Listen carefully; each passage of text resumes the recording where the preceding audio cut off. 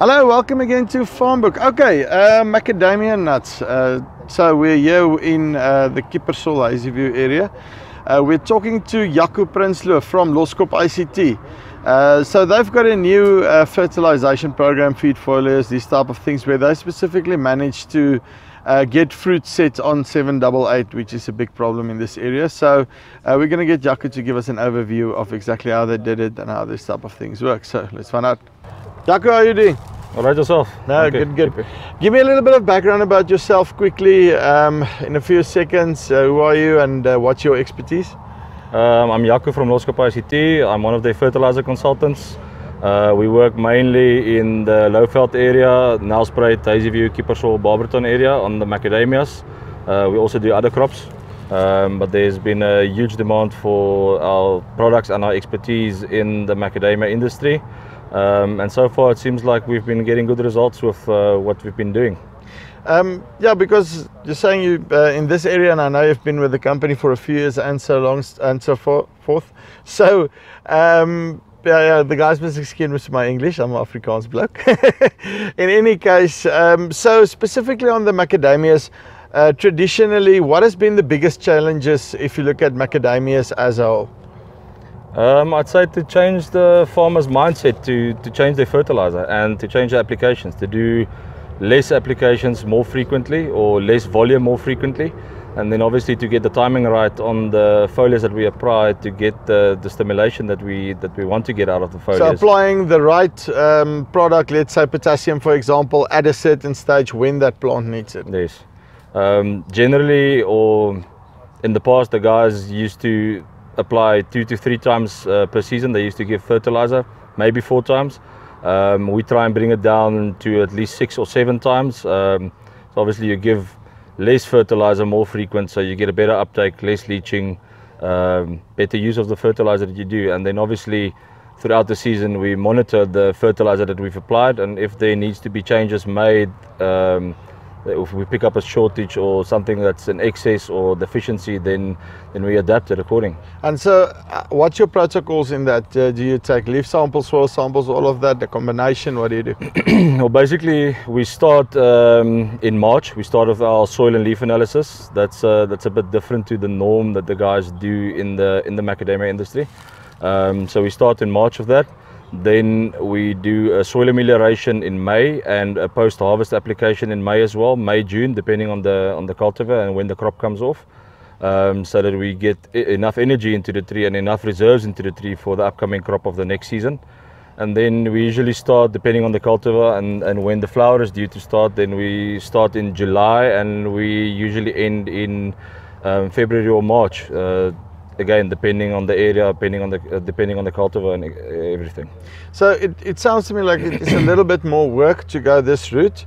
Um, but uh, when when you started with this with this block of cultivar or with this seven double eight, and you started with this, uh, did you think that this was going to be the results?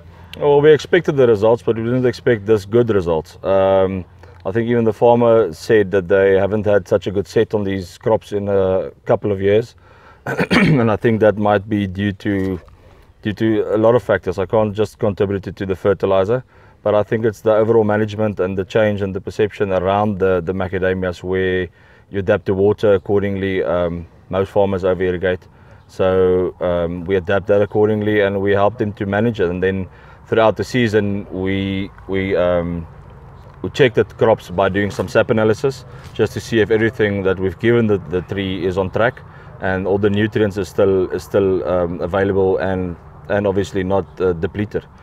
And so the other thing that I want to ask you is, um, so I come from the pecan industry and I know that very well. Um, and we found that uh, with us, there's a lot of guys using stuff like uh, zinc nitrate and whatever for uh, doing foliar applications. Um, does the quality of the product that I put on in terms of a foliar application really matter, or is it only about quantity? No, it's definitely quality, and then obviously the main thing that uh, uh, that um, that would enhance it is obviously the uptakeability of the product. How do you do that? Um, we use certain products that's imported, um, technology that's in there that makes the, the the elements or the nutrients that's in the foliar much more uptakeable. Um, I'm not going to give names or foliars or anything, but um, But is it? Uh, but is it? At least is it like a biological or chemical chelation? How does that work? it's still chemical chelation, but it's it's combined with um, with uh, other with other products that that makes it more uptakeable. Um, especially when you spray it, the volumes that we put down is a lot less than than the conventional volumes that the guys put down. Um, but we get better results because of the technology that's in in most of the fert- uh, most of the foliars, um, especially with some of the patented foliars that we use. Last thing. Um, so if I look at my macro elements versus my micro elements, um, which one do you think um, is the most important part out of uh, what is almost missing in the Mac industry? Oh, it's difficult to say.